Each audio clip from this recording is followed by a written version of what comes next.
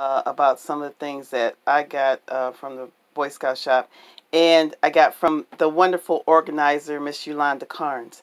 Uh, first is the BSA requirements book. I think it's only like five, six dollars, and it's going to give you the requirements for each one of the um, ranks, so that uh, short and sweet what they are.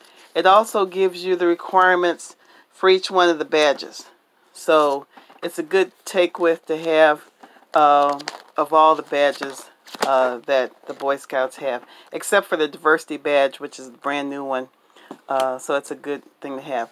This second thing um, I got from Miss Yolanda Carnes, the idea um, with her son Dylan, his Eagle Scout uh, road, was to have an Eagle Scout binder.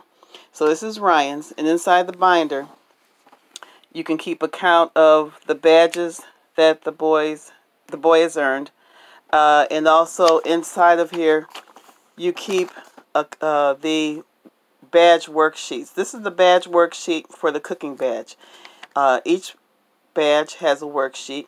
It allows the boy to put their name up there and to do the work associated with each one of the requirements for the um, badge.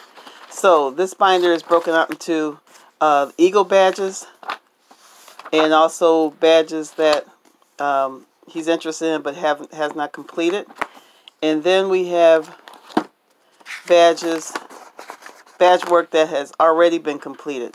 So this is a record that he'll have when it's time to um, defend his Eagle Scout rank. All the documentation that says that um, you know the Eagle the the work has been completed. And then at the very end, I've got pictures here of him doing some of the, the work. But at the very end is what we've been calling the blue cards. They actually are blue, and uh, they are the official record that the scout has completed the uh, requirements for uh, badges. So you usually give these cards to um, to our Scoutmaster, and he keeps track of them and puts them in the Scout database. The other thing that uh, is back here um, are any type of, of um, uh, uh, cards that the boys would get uh, for their accomplishments and then any type of work that they've done for their badges. So I hope that helps to um, thank you to Mrs. Carnes for uh, guiding me and putting this together and so I'm just passing it on.